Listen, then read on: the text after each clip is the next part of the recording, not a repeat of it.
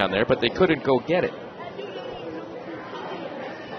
2 2 pitch, swung on and ripped to left field. Deep down the line, back it goes, and this is gone. A two run home run for Kyle Blanks.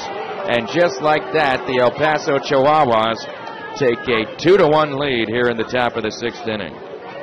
Kyle Blanks homers for the second straight game. And El Paso moves out ahead.